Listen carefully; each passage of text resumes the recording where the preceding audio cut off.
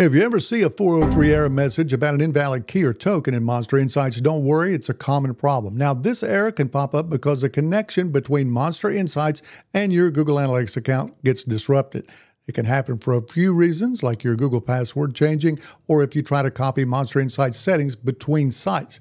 It's an easy fix. Just completely disconnect MonsterInsights from your Google Analytics account, then reconnect MonsterInsights using the MonsterInsights setting panel. Now, if you're not sure how to reconnect MonsterInsights to Google Analytics, here's how you do it. First, log into your WordPress site, and then go to Insights, and then go to Settings.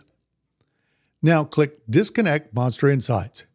You may need to press Force Disconnect if it doesn't disconnect the first time.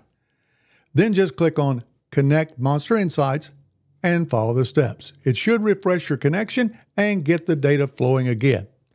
All right, that's a wrap. Now, don't forget to smash that like button and subscribe for more tips on winning with analytics in WordPress. I'll catch you next time.